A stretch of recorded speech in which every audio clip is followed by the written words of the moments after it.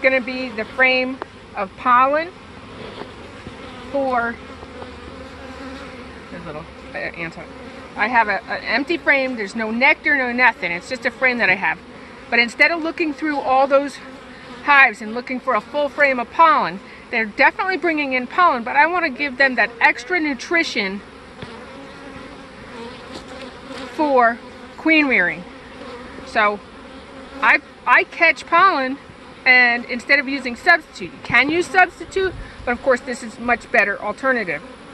And you just shake them in and get it in there and then you can rub it in and get it to fill.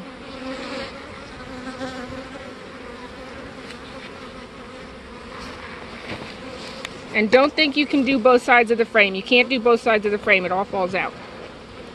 But this is the side that you want next to your graft. You want this side facing where you have your cells. He's already eating. Move. Move, sir. Try to rub it in.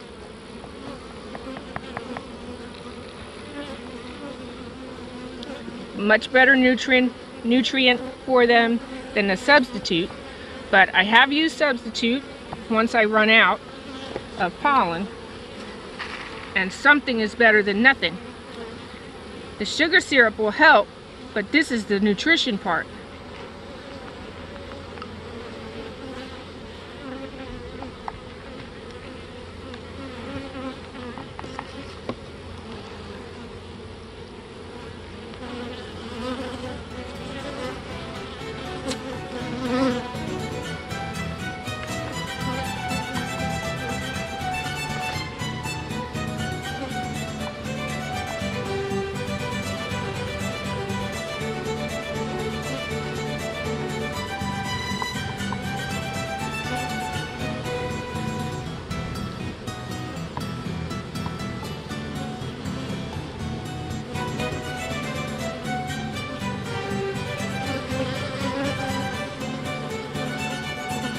Where I tell my customers my bee, my queens come first because they want to eat the pollen. Pollen's good for you. But it's that much better for my bees. Messing up my stuff there, man.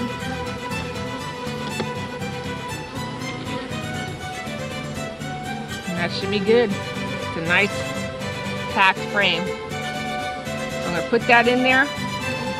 Put a little syrup on them